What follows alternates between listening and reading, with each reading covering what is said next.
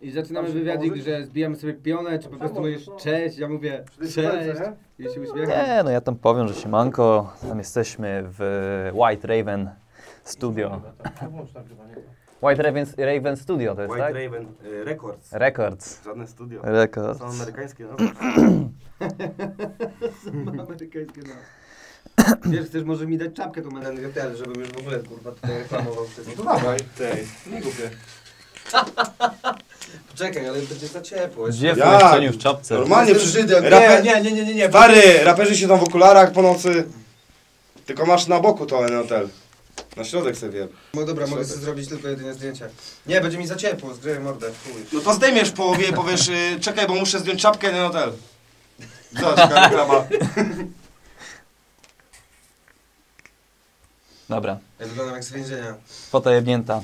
E, siemanko, jesteśmy w White Raven Records em, u Jagły w studiu. Taka mała reklama na sam początek. E, jestem Kmieciu, Blender Art, ze mną jest Knaps, reprezentant Pabianic. E, Obecnie Łódź. No, już Obecnie już tak, Łodzianin. E, powiedz mi, Knaps, czy mi się wydaje, czy ja ciebie wywiadowo rozdziewiczam?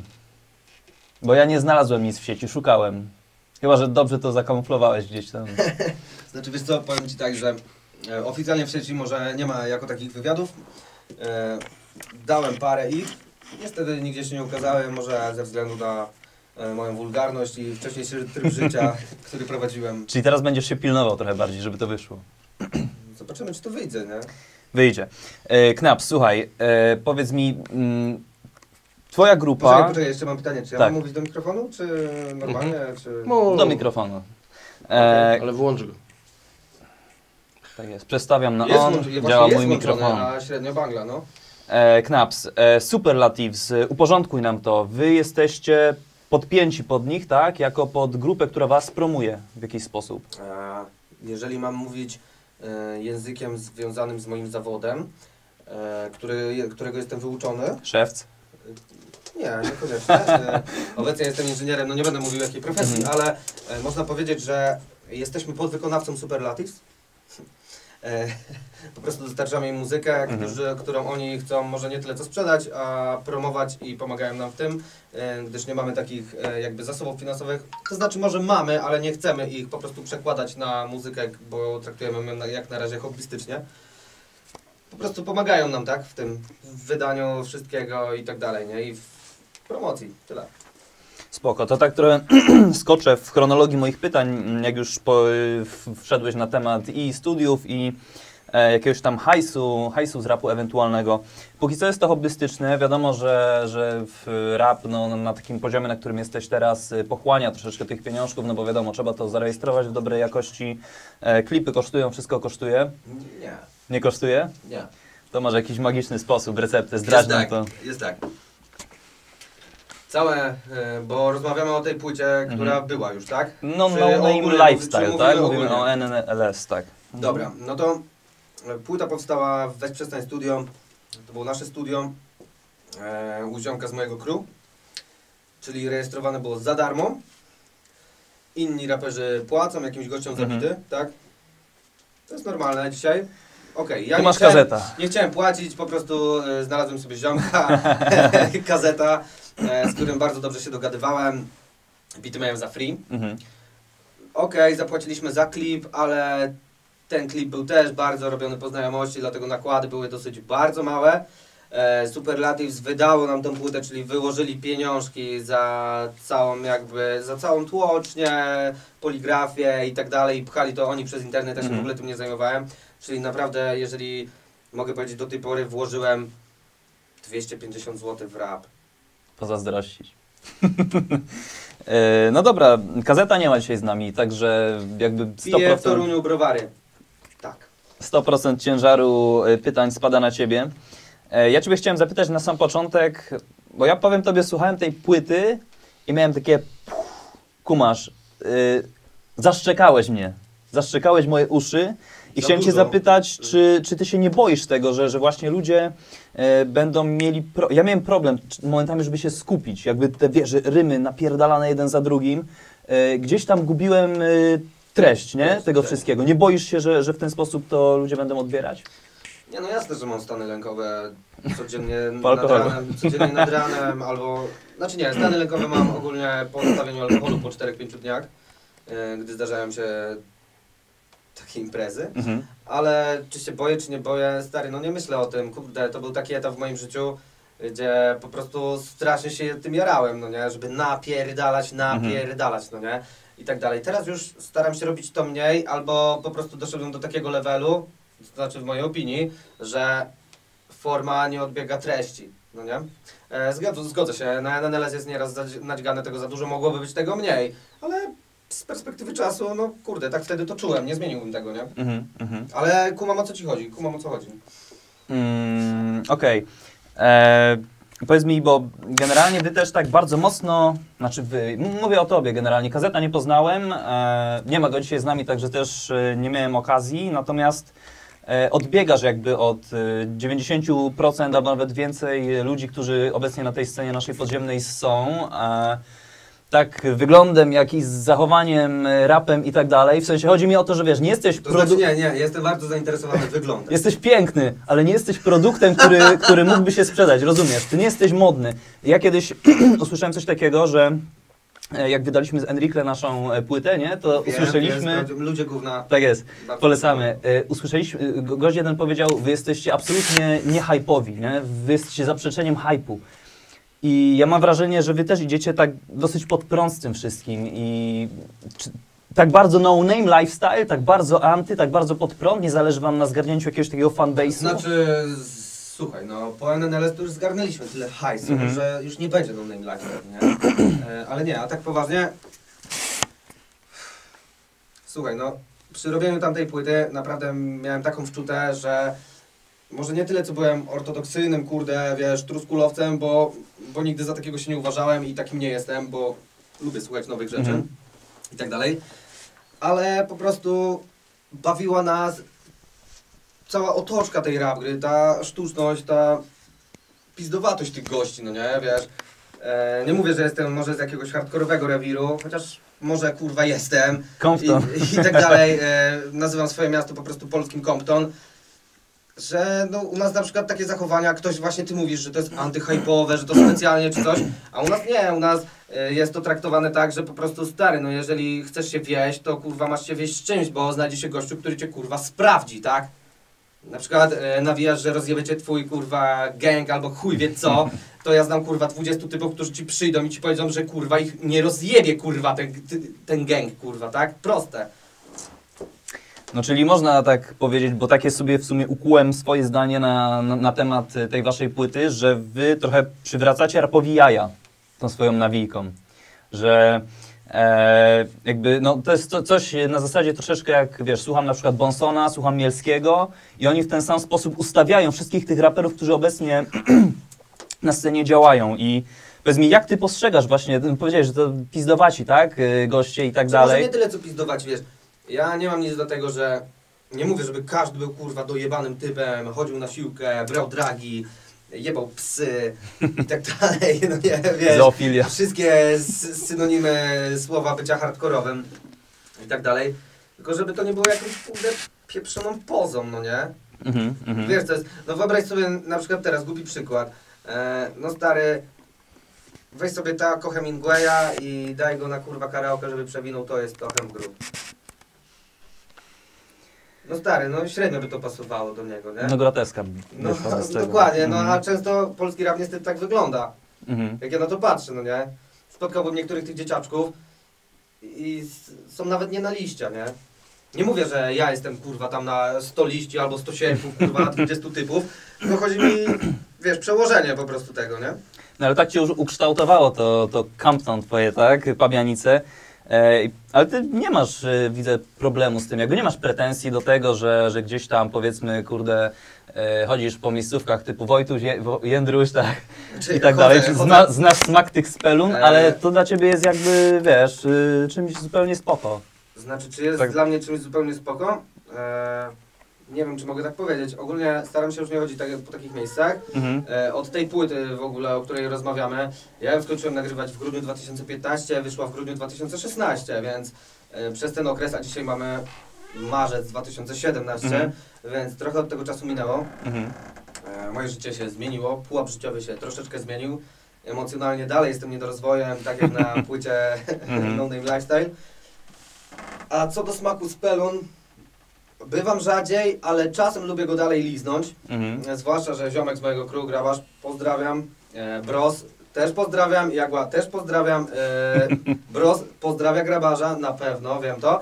E, jest na przykład barmanem na osiedlowej mordowni, Mhm. której sam nadał nazwę Baza.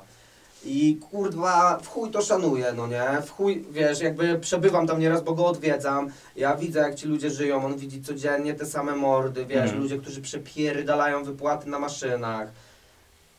Pracują, wiesz, u mnie na przykład w regionie jest zagłębie farmaceutyczne, wpierdalają leki przeciwbólowe, psychotropy, chuj wie co, zapijają to wódą, grają w lotki, kurwa, tak jak nawijałem na smaku z pelun, no nie, że wiesz, że ziomek, e, ziomek z Robotramal nadal żre od piątku, no nie, i tak dalej, więc mam dalej z tym styczność, wiesz, a to są w porządku goście, nie, tak naprawdę, Je, jeden z drugim by ci pomógł, wiesz, stanąłby za tobą, jeżeli by coś złego się działo, no nie, dlatego nie oceniam to, aż tak tego źle, po prostu poznałem tego smak, no nie, tyle. Ale odbijasz od tego na chwilę obecną i teraz E, jesteś Znaczy, wiesz, nie magister, ale inżynier blockers, tak? Inżynier blockers, tak, tak, tak. Znaczy, zobaczymy, zobaczymy jak to pójdzie dalej. Może kiedyś doktorat, no nie, ale... Zobaczymy, no nie, Mhm, zobaczymy. mhm.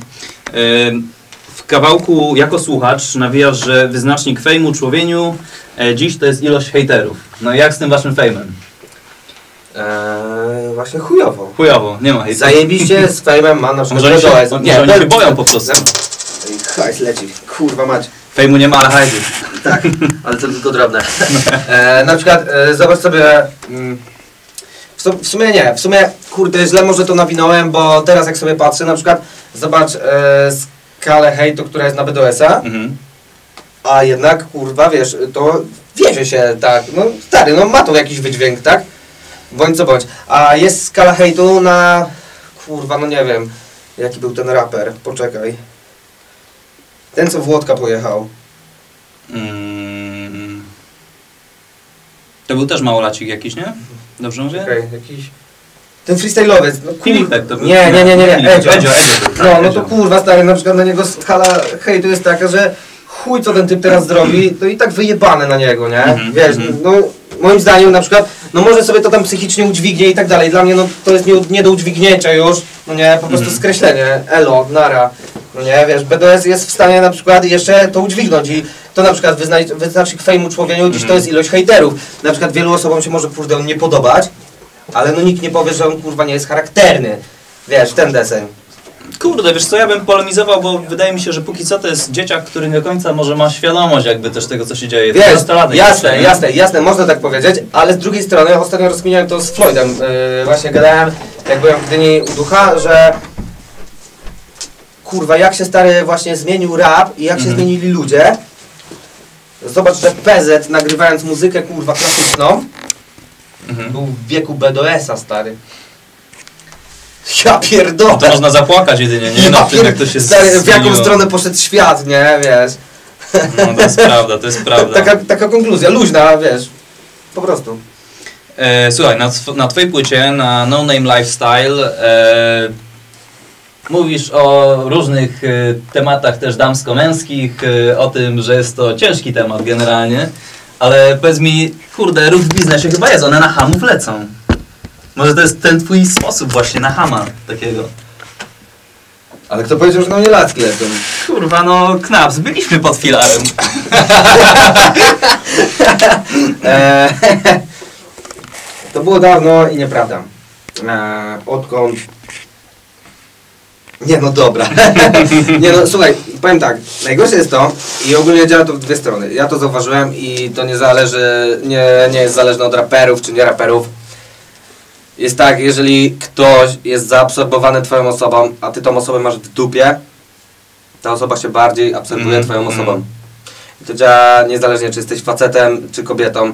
Jak jesteś gejem, czy tam transwestytą, nie wiem, kurde, nie mam takich znajomych, nie? Ale to tak działa, że zazwyczaj to, co jest niedostępne i tak dalej, jest bardziej pożądane. Mhm. Jeżeli na przykład ja nawet, wiesz, ukorzyłbym się dla jakiejś kobiety, Nie mówię, że tak nie będzie, no nie? Zajera mnie, podejdę, wiesz, pod okno, zaśpiewam coś, rzucę róże, kurwa, totalna abstrakcja, no nie zrobiłbym tego, no ale jeżeli nawet, no to ja na miejscu laski bym po prostu wyjść, wyjść, wyjrzał z okna i powiedział ja pierdolę, no co za debil, nie? On w ogóle nie jest biały i młody. No, no na przykład, no, no czy wiesz, no wiesz co chodzi mi. No ale powiem, powiem tak, że zauważyłem na przykład e, z tych doświadczeń, co już miałem, znowu. E, z tych doświadczeń, co zauważyłem, na przykład, e, jeżeli nawet byłem w związku czy coś, to od momentu, jeżeli ty masz bardziej wyjebane, druga osoba zaczyna się bardziej starać. I to jest najbardziej pojebane w ludziach, nie? No to jest klasyka. Zamiast, zamiast, zamiast wiesz, doceniać się na co dzień, nie? Mhm, mhm. Szkoda, że tego kazeta nie ma, kurczę, moglibyśmy to fajnie połączyć, e, bo też e, w kawałku Każdy Problem e, są takie wersy, często nie mam na rapy ochoty, a kazet mnie ciśnie na zwroty daj trotyl. E, I chciałem po prostu kazeta zapytać, czy to on jest tym motorem napędowym tego duetu waszego tutaj. E, powiem tak, Czyli najpierw są bity, później jest ciśnięcie knapsa, nie, no, ziom, nie, no wiadomo, wiadomo, wiadomo, że to jest, wiadomo, że to jest zrobione tak. E, dzisiaj Bartkowi nawet mówiłem twojemu znajomemu, Mhm. pozdrawiam Bartek. E, stary, ja najpierw piszę tekst, on później robi bity. Aha. Nie no, żartuję, kurwa, no nie ma tak, ale, ale ogólnie, e, wiesz, teraz na przykład e, na nową płytę, bo planujemy ją, Mhm. Wysłał mi tam parę bitów. Sorry Kamil. Są fajne, które tak zaakceptowałem na, na bank, że chuj Mhm. i są. Ale dla mnie to jest za mało, nie? Wiesz, ja na przykład bym chciał mieć kurwa od niego z 200 bitów. I sobie wybrać i akurat mam faskę i piszę sobie pod to, nie? I on mnie ciśnie tam, wiesz, nawet e, chłopaki z Superlatyws mi mówili, że coś tam w kaset i mówił, że ja się opierdalam, no nie? Wiesz, no zawsze mogę sparafrazować, jak robisz chujowe bity, to nie ma zwrotek, no nie? I tak Mhm. dalej. No ale wiadomo, wiadomo, że no musimy się jakoś dotrzeć, wiesz, też troszeczkę rozjeżdżamy się jakby muzycznie dzisiaj, bo kurde, jaramy się dosyć teraz innymi na przykład rzeczami. W tamtym okresie, jak robiliśmy NNLS, to była taka po prostu pizda nad głową, no nie, dosłownie, no popek, wiesz, co Zajawka na gang. Zajebka na Galbani i powstał MNLS. Nie, a tak serio, e, dzisiaj wiesz, nie chcę już robić jakby, znaczy może chcę, chciałbym robić, ale po co robić dalej, wiesz, e, jebanie o tym jak to jest na osiedlu i tak dalej, gdzie ja chcę ten etap przeskoczyć, ja chcę być wyżej od tego, no nie? Wiesz, wreszcie powiedzieć coś, zawsze mówię o sobie, ale jakby teraz chciałbym powiedzieć dogłębniej, no nie wiem, czy może, no może źle rozkminiam rap, ale ja na przykład rap traktuję tak e, trochę jak w socjalizmie, kurde, był kult jednostki, nie? Że stary, każdy ci przewinął kawałek o dupie, każdy ci przewinął kawałek o ruchaniu, o piciu i, i tak dalej, tylko musi cię zaabsorbować jakby swoją osobą, nie? Sobą, osobowością, czyli musi być kult jednostki. No to stary, ja teraz na przykład chcę zrobić coś takiego, żebym ja był na tyle ciekawy, żeby opowiedzieć tyle ciekawych rzeczy, żeby ktoś chciał mnie słuchać, nie? No bo wiesz, no głupotą by było gadanie, że nie no, robię to kurde tylko dla siebie, nie? I dla moich mord. Elo ulica, no stary, no to by było głupie, nie? No fajne, prawilne podejście, wiadomo, że zawsze ziomeczki chętnie pewnie sprawdzą e, swojego ziomeczka, no ale to... Ale ja, nie, znaczy wiesz, chodzi o to, żebym e, na przykład sam uważam, że no nie tyle, żeby ktoś ubóstwiał czy coś, tylko chciałbym, żeby to się zderzyło z innymi Mhm. opiniami, no nie? Na przykład to, co ja uważam, albo to, co ja czuję. A co, się- uwa- a co uważasz y, O czym? y, o tym, o czym rozmawialiśmy zanim kamery zostały włączone? nie, wiem, nie wiem, czy wyciągać, wiesz, te tematy, mówiłeś, że jesteś skrajnym e, prawicowcem, e, ale jedna rzecz cię w lewicy ujęła, którą ci kazet e, tutaj... Powiedz, bo to jest w sumie ciekawe. E, Znaczy, ciekawe na, ten ciekawa temat, na ten temat rozmawiałem też z Somalem e, bardzo często. Z duchem trochę mniej, bo on e, właśnie jak odwiedzam Gdańsk, to zazwyczaj odwiedzam ducha i Somala. E, duchu trochę mniej zorientowany jest w polityce. Pozdro Konrad i nie dziwię, nie dziwię się tobie, jest na pewno ci lżej psychicznie. Ja na przykład to strasznie przeżywam. E, chodzi o to, że zdefiniowałem się jako katol narkopatol. E, Damn! Znaczy, to jest, to jest akurat totalna abstrakcja, tak? E, chodzi o to, że wiesz, nie podobają mi się wszyscy, bardzo dużo lewicowych ruchów mi się nie podoba, Mhm. no nie, i tak dalej. E, bo pomyliło się dzisiaj słowo tolerancja z akceptacją, Mhm. co mnie najbardziej wkurwia. I love you. Stary, ale właśnie i teraz, i co ja mam za to Nie, powiedzieć? nie, ja, wiesz, ja, ja po prostu cię... E, Ja, ja, jestem- nie, powinieneś powiedzieć no homo, nie, Nie, no tak dalej. E, A co do ja mam lewicy, a co do lewicy, wiesz, nie mogę powiedzieć, że cała lewica jest zła, na przykład złe jest właśnie lewactwo i ludzie ślepo tym zaślepieni, tak jak ludzie ślepo zaślepieni prawicą, no nie? Mhm. E, samo to na przykład, wiesz, jeżeli prawica lubi wolny rynek i tak dalej, ja to popieram. Tylko, że jeżeli chodzi o artystów, na przykład, wiesz, teatr, kino, muzyka, malarstwo, cokolwiek, no to wtedy na przykład prawica nie zajmuje się takimi ludźmi. Oni muszą, muszą wszyscy działać własnym sumptem. Mhm. Naprawdę jest na początku wtedy trudno, a e, to jest na przykład chyba jedyny taki z ideologii, mówię, lewicowej, no nie, jedyny chyba taki postulat, który by e, przemawiał do mnie, to na przykład właśnie wspieranie nie tyle co najbiedniejszych klas społecznych, którym się nie chce pracować, tylko na przykład właśnie artystów, domów kultury społecznej i tak dalej. To moim, na, to, na to moim zdaniem powinny iść pieniądze państwowe i nie powinno być to prywatne domy, nie? Tyle o polityce. E, wrócimy jeszcze na chwilę do NLS, e, bo macie, bo ja wpadłem na taką informację, że to już jest w sumie poszło, płyta poszła, jest zamknięta e, i tak dalej, i tak dalej. E, także myślę, że można wyjawić pewne sekrety, które, które wciąż są e, odnośnie tej płyty, bo miał pojawić się w kawałku właśnie No Name Lifestyle, lifestyle jakiś e, fejmowy gość. Taką informację kazet zawarł na swoim fanpage'u i ja chciałem tak podpytać, czy w sumie można to wyjawić, bo... Można to wyjawić. Można. Znaczy można, może nie można, może można. Co tam jest? Git. Z E, promptera, wiesz. Odpo po odpowiedź, co to było. Czekaj, czekaj, TVN by podłapał. nie no, wiesz, chodzi o to, że e, kto miał być, tak? Tak, To miało być e, w chuj osób, nie? W chuj osób Tak? miało być. E, nikt się nie chciał dograć, ja pierdolę. Znaczy, bo taką ka- kazet napisał, że miała być, jak, znaczy ja tak zrozumiałem, jedna konkretna osoba, jakiś fame, nie? Wiesz, w rozumieniu gazeta, kto to jest fame? Też pytanie. Nie ma go tu, Nie nie, ma go można tu. go zapytać, ale go ty wiesz, kto to mógł być? E, dzwonił nie będę, dzwoniłem wcześniej, nie odbierasz. Kamil. Znowu. E, e, miał być Jan Wyga. Mhm. E, niestety on tam miał jakieś swoje. Nie wiem, nie wiem co miał, może miał zawirowania życiowe i tak dalej. Wiem, że teraz pracuje w Pabienicach. O, proszę. A propos, no nie. Z, z Detroit do Campton. Mój ziomek go wyczaił, wyczaił go mój ziomek. E, kto miał być jeszcze? E, doszły mnie słuchy, tam jakiś typek się pytał. E, we Wrocławiu było Wena, no nie, ale to chyba w ogóle e, Mhm.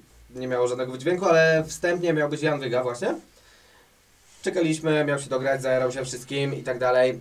Ale wiadomo jak jest z raperami, wiadomo, sam wiem po sobie, no nie, dlatego Mhm. okazać się wkurwia na mnie. E, no i ostraliśmy to i wzięliśmy właśnie Gustawa, którym, e, pozdrawiam Cię Gustaw.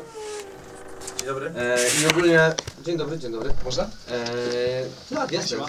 E, jest taka faza, że w ogóle wzięliśmy gościa, też zajarałem się, sprawdziłem kiedyś jego epkę, podesłał mi ziomek z ekipy na SoundCloudzie, tego gościa nigdzie nie ma. Mhm. E, wiesz, i faza taka, że sprawdziliśmy jego epkę, słuchaliśmy jej na majówce, chyba 2014 czy 15, chuj z tym.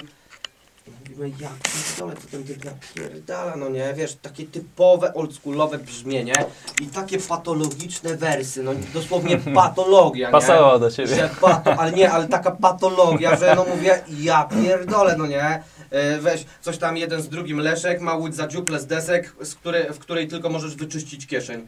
No nie, ja mówię sobie, o co chodzi, no nie? E, coś tam, e, tu smak ma kwas, zapach skocznych używek. No nie, takie wersy. Ja Mhm. mówię, wow. I mówię, tego typa nigdzie nie ma. No i mówię, skąd znajdę do niego kontakt? Z, stary, zgarnąłem do niego kontakt. E, spotkaliśmy się, właśnie, on się zajarał bitem, w ogóle zajarał się tym, że ja do niego podbiłem, że Mhm. ktoś z dupy do niego podbił, dla, bo dla niego z dupy, w ogóle on nie siedzi, robi rap, robi sobie tam swoje rzeczy, no nie, teraz robi grajmy jakieś, nieważne. I stary, okazało się, że gościu jest muzykiem, rozumiesz, gościu jest muzykiem, stary, mieszka na dzielni, gdzie ludzie walą heroinę, no nie, i tak dalej, na bałutach, gdzie, nie, poczekaj, na bałutach mieszka, no jeden chuj, no nie, na naprawdę, na niefajnej dzielni, no nie, Poznaniu pewnie takiej nie ma. Znaczy, nie, nie w ogóle nie obniżając, wiesz, poziomu miasta, no? Znaczy, raczej podwyższając poziom waszego miasta. E, no i gościu, wiesz, i stary gościu mówi, a ja, bo ja, ja tu mam konkur, e, koncert w Luksemburgu, czy gdzieś jest muzykiem stary i on wypierdala ci z rapsami takimi, Mhm, nie? mhm. Gdzie na co dzień w ogóle taki nie jest. Znaczy, jest taki, ale jakby robi zupełnie inne rzeczy. Mhm. I to było zajebiste i chyba lepiej wyszło, że Wygi nie było, tylko było on. Powoli zbliżamy, zbliżamy się do końca. E, chciałem Cię jeszcze zapytać, bo e, NL, NNLS, kurde, mi Czekaj, się cały e, czas nie, to nie język umiesz, przy Nie tym. umiesz tego wypowiadać. No, e, ja, cię muszę tego nauczyć. Zróbmy to. E, No. Jak bujane paru newschoolowych ruchów. E, Pokaż najpierw ten ruch, bo ja bardzo mi nie się potrafię podobało go. newschoolowych raperów. Jest naprawdę zabawne. ja pierdolę. No, e, NNLS. NNLS. No, Okej. proste. Więc. E, NNLS. E, wam się bardzo szybko wyprzedała. Albo Nynylysy. Nynylysy. Bardzo szybko wam się Nynylysy wyprzedało, Jezus, prawda? bardzo, bardzo, bardzo szybko. Dotłok? O Jezus, o ile to do tłoku będzie. No tak, będzie do tłoku. Robicie. Znowu ten haj. Po NNLS, właśnie. To będzie, jak edycja się sprzeda. No E, właśnie. E, dlaczego w ogóle on będzie? Miało go nie być. W ogóle nie wiedzieliśmy, że to pójdzie. Mhm. Myśleliśmy, że to kupię sobie na przykład ja, Mhm. moja mama, mój brat, czterech moich ziomków i Elo. Okazało się, że kurwa mać, ludzie na to czekali niektórzy, nie? Wiesz, w ogóle co było dla nas śmieszne. Wiesz, powinniśmy się jarać, a dla nas to było śmieszne. Piszą jakieś kurwa typy do ciebie, wiesz. No, ja pierwszy raz się z czymś takim spotkałem, bo w ogóle e, kiedyś właśnie Bujana mi powiedział, że jestem kurde dosłownie mistrzem marketingu. Założyłem fanpage po wypuszczeniu chyba singla. Król! No, no i wiesz, i kurwa tam ludzie do mnie piszą, że stary, ja cię sprawdzę, bo to kiedyś tam, ja mówię sobie, no, no to fajnie, kurwa, że sprawdzasz, no nie, stary. No, no ale ja już tego nie mam, kurwa, nie? I wiesz, jeszcze była, ta, była taka opcja, że chłopaki mi tam dali 30 sztuk na miasto, Mhm. bo ja mówię, że no właśnie, żeby ziomkom pogonić, nie? Bo mówię, że ziomki chcieli mnie wesprzeć, wiesz, mówię, kurwa, kupię to od ciebie, ale od ciebie, od ciebie, Mhm. nie? Ja mówię, no okej. No i jak wrzuciłem zdjęcie, kurwa, że tam mam ileś, kurwa, sztuk w domu, ja pierdolę, no, ile ja mam znajomych, nagle się okazało, nie? Każdy mówi, mordeczko, zostaw mi jedno, mordeczko, zostaw mi jedno. No i teraz stwierdzam, że po prostu Ile tego poszło? Pier- nie, teraz wiesz co, po prostu stwierdzam i mogę powiedzieć, pierdolcie się, nie ma już kurwa, że ode mnie, tylko przez neta, tylko kupowanko przez neta, Mhm. no nie? Ile tego poszło? Ile poszło, no? No stuwa, ale to poszło dosłownie na początku, nie? Wiesz, tak bardzo szybko, bardzo Mhm. szybko, wiesz, pewnie jakby tego było więcej, by po- poszło więcej. I osraliśmy to i stwierdziliśmy, że dobra, zrobimy dotłok, ale zmieniliśmy specjalnie okładkę, żeby te pierwsze 100 osób no miało po prostu tą Mhm, swoją, nie? mhm, I więcej mhm. już nie będziemy robić, chyba, że kiedyś by się udało zdobyć fame, no to tylko dla hajsu już wtedy, wiesz, typowo. No ale to wtedy sobie poleci w Empik, nie? Zrobimy w jakiejś tekturze chujowej, nie? Co dalej, Robert? Co Co, dalej? czego możemy się spodziewać po dotłoku? Mówiłeś, że, że z kazetem, tak? Coś tam już zaczynacie robić, już pierwsze jakieś tobie podesłał, wyklepane bity. Znaczy, powiem tak, no, chciałbym zrobić to z kazetem, Mhm. bardzo, no nie? No homo. Ostatnio są zgrzyty na naszej linii. Pozdrawiam Kamil. E, znaczy nie, wiesz, widujemy się i tak dalej, jesteśmy dalej ziomkami, Mhm. jest super i tak dalej. Tylko może artystycznie się tak nie zgadzamy, też może ja, zwłaszcza wiesz co, ze mną jest problem o tyle, że ja za bardzo właśnie kurwa spuszczam się nad tym wszystkim, nie? Mhm. Że no nie mówię, że to ma być jakieś epickie dzieło, że każdy się zesra, jak tego posłucha, bo jest taka metafora, że on sobie powie, ja pierdolę, spyta pół rodziny, o co chodzi, nie? Nie no, bez takiej fazy, tylko chodzi o to, że że kurde, nie chcę właśnie robić tego, co już no, kurwa macie teraz zabrzmi jak każdy, nie chcę robić tego, co było wcześniej. Chodzi o to, że ja dalej lubię osiedlowy klimat, Mhm. dalej to we mnie zostało, dalej to we mnie zostanie, wiesz, ty możesz sobie wyjechać z Pabianic, to nie wyjedzie z ciebie. no nie ma takiej opcji. I po prostu stary. Chciałem jakby bardziej oddać siebie, swoje emocje. I może dlatego nad tym się za bardzo po prostu, tak jak mówię, spuszczam. Ale na pewno ta płyta by była troszeczkę inna, dalej by była zachowana w takim sznycie, choć e, chcemy zrobić, wiadomo, oldschoolowe numery, może parę na nowych brzmieniach, żeby po prostu komuś zamknąć japę i pokazać jak to się robi. po prostu takie dobre numery, no nie, typowo newschoolowo, oldschoolowe. A, ja to już powiedziałem, mordo, mordo, oni Zamknąć to, oni to wiedzą, oni to wiedzą. I wiesz, ja płytę jakby w głowie mam już prawie wymyśloną, tylko tak, jednego gościa, nie wiem, dobra, mogę powiedzieć, jednego gościa mam nadzieję, że będzie, jeżeli ja nie odjebę lipy, to on na pewno będzie. Mhm. E, będzie to duchu, Mhm. na pewno na refrenie do kawałku Zwarty nad Tamizę, do którego naprawdę już długo się przykładam, bo to będzie bardzo osobisty numer. e, Wydaje mi się, że może być fajny. Chcemy zrobić na pewno więcej klipów do tej płyty. Mam nadzieję, że wyjdzie w Superlative, choć e, zobaczymy jak się wszystko potoczy. No jeżeli znajdzie się jakiś major z typu Def Jam, no nie wiesz, no to wiadomo, że odejdę, no nie. Chociaż e, nie zapowiada się na to. Okej. Robert, y, co, dziękuję Tobie za, za rozmowę. E, życzę powodzenia, czekam na, na kolejną płytę, bo przyznam, że to jest na pewno coś innego niż, niż to, co można usłyszeć teraz na naszej Eee, scenie. Jeszcze tylko mam takie pytanko, Mhm. a propos ciebie. Tak. Czy mam okazję do kazetu zagadać o jakiś beat, co? E, to poza kamerami, wiesz, bo ja nie płacę za Nie. bity, także... Ja nie to też bezpłatnie bym załatwił. Aha, dobrze, to tak znaczy, zróbmy. nie, wiem, że na pewno, na pewno jest taka fatka, że e, no, sprzedawał bity jakiemuś gościowi, Mhm. w sumie chuj dupę temu gościowi, e, bo mnie wkurwił ostatnio, bo mi gazet sprzedał, e, że sprzedawał mu bity za stówę, gościu wyjechał do Niemiec, kurwa, pracować, no to mu już jebie za trzy stówy, nie? Mhm. I kurwa tyle, nie? nie wiem, czy to puścimy, ale kurwa, ale, ale taka prawda, kurwa, bo mnie ty wkurwił ostatnio swoją gadką, którą mi Kazy to powiedział na gibonie i tyle, no nie? Materiał idzie bez cięć, także ja nie będę pytał już Knapsa, kto jest e, najbardziej chujowym raperem w Polsce, bo też to po prostu by poszło dalej. E, Robert, jeszcze raz dziękuję. E, Ja powiem, kto jest najlepszym. Mogę powiedzieć, kto jest najlepszy. Proszę bardzo. Najlepszym raperem jest Borikson. Elo ulica. Pozdrawiamy Knaps, e, polskie Detroit, Pabianice, Kmieciu Blender Art, White Raven Records. Dziękuję bardzo. Brawo! Jest dobrze. Dobrze pójdzie szło. Ale ukradł ci wywiad, co? Ta, no, słuchaj, sam, No i sam, sam oczywiście, gadał. e, Kubki, kubki muszą stać Ej, ja trochę za dużo pierdolę, co? Nie, no dobrze, dobrze. sobie krzesło jedno.